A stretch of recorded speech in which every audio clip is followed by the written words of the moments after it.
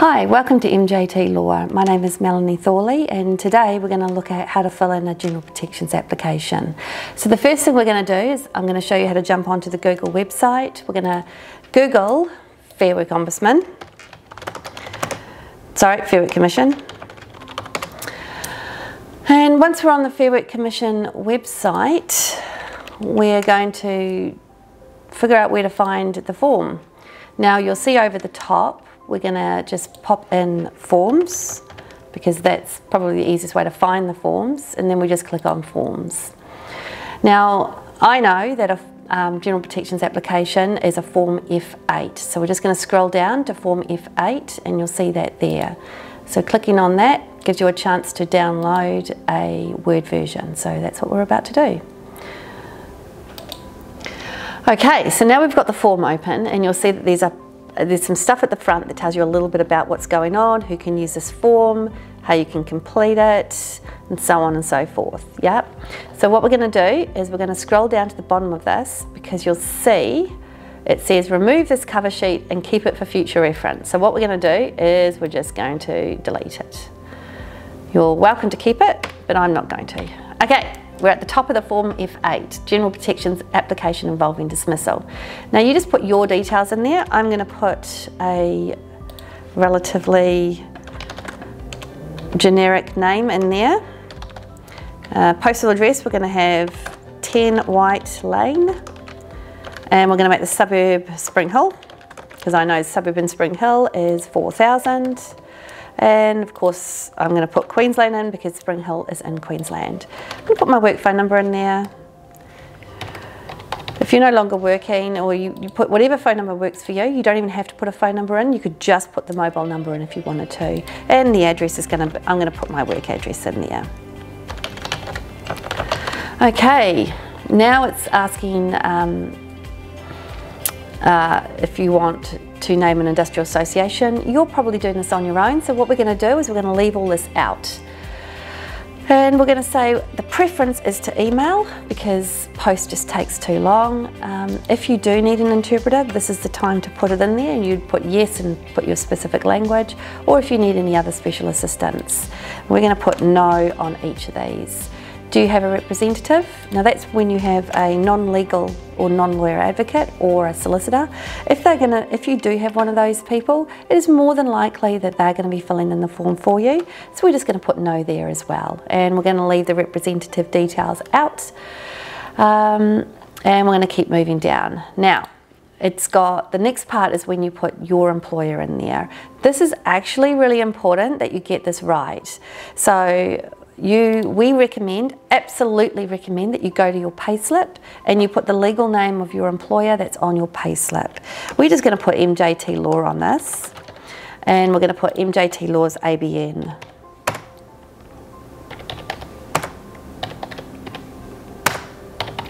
Okay, and we're going to put the contact person as, I don't know, John, oops, John Doe, and we're going to do the postal address. Well, that's going to be 215 Wharf Street because that's where we are.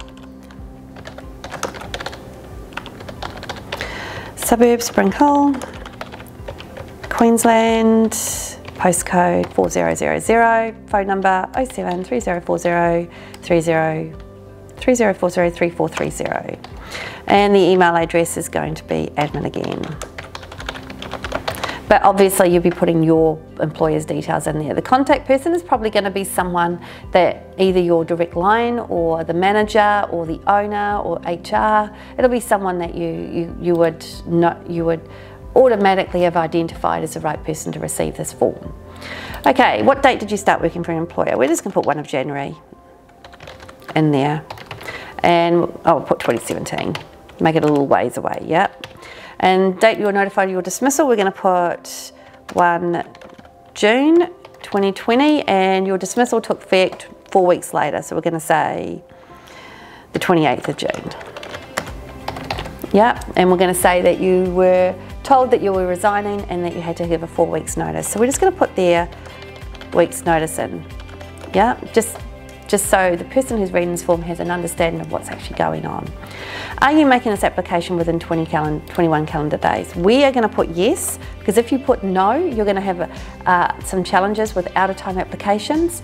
We would absolutely encourage you to jump onto the Fair Work Commission website, download the bench book and unfair and general protections, and get a feel for uh, out of time applications, if indeed you are making one outside the 21 days.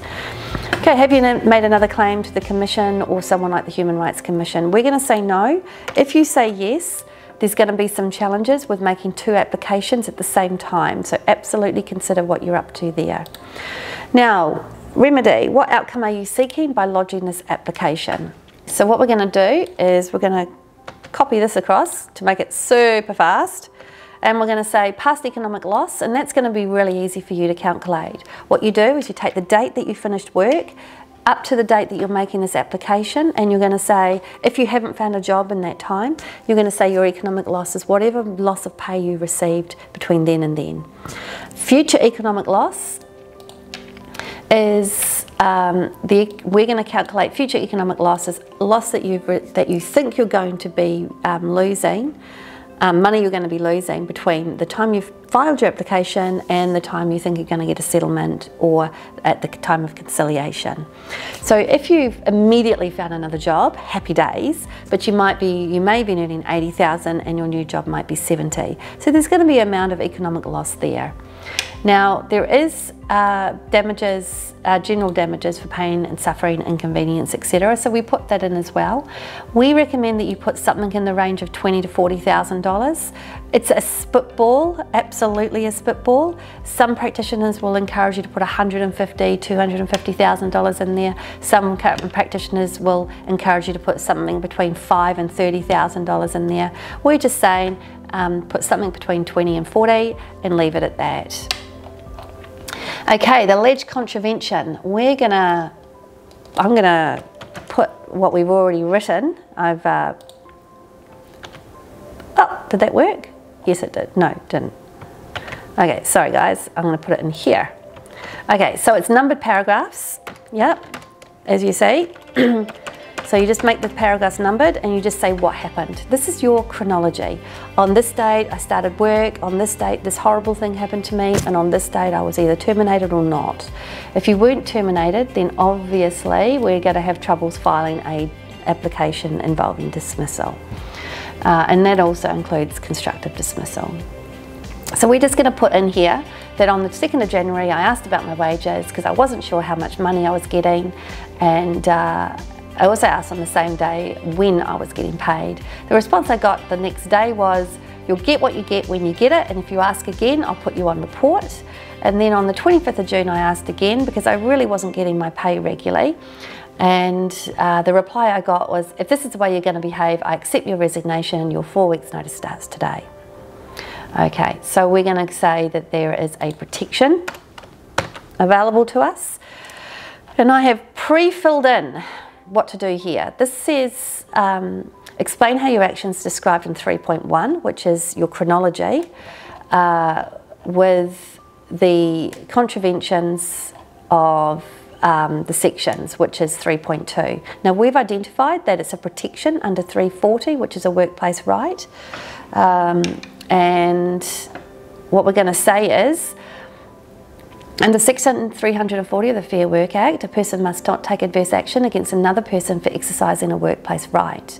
Now, you'll see in um, the General Protection Bench book that a workplace right is including a complaint or inquiry in relation to your job.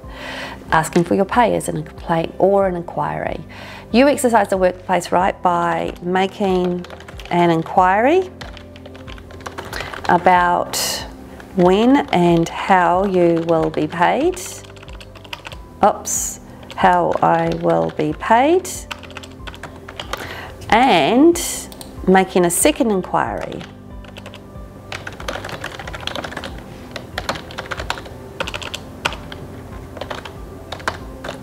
about being paid. Okay, the adverse treatment was making you feel fearful for your job, making me, sorry,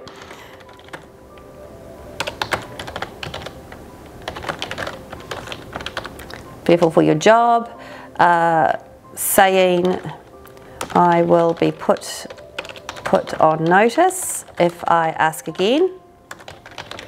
And the last one will be being terminated with four weeks notice.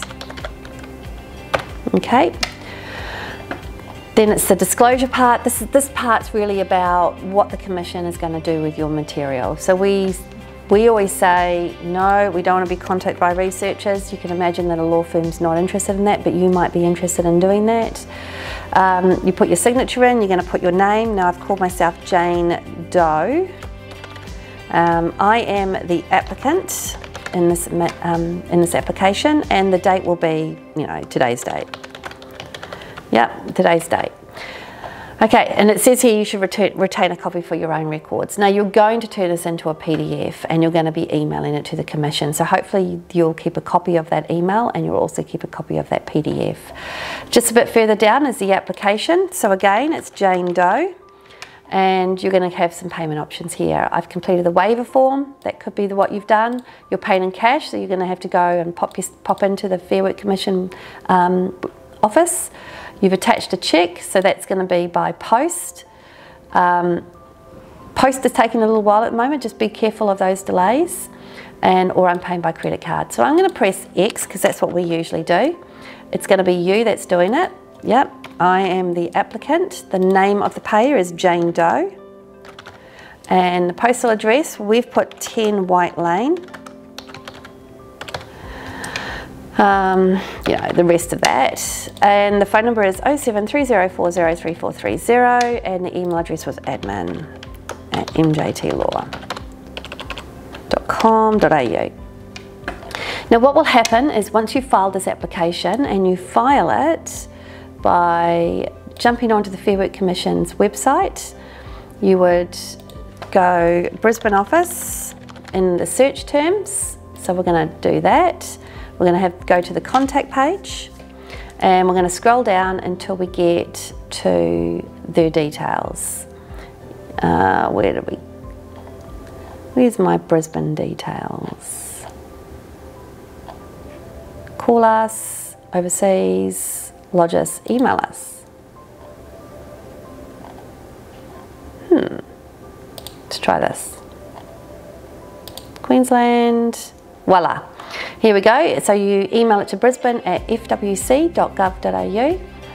So once you've filed the form, the Fair Work Commission will call you probably within about 24 hours asking for money. It's around $70.90 I think at the moment or $72.90 at the moment to file a uh, general protections application. So they will ask for that monies over the phone. If you're unable to give them the money uh, at that time, it is more like, or you don't answer the phone, it's more likely than not you'll receive an email notifying you that you haven't completed your application and that there is still a payment outstanding.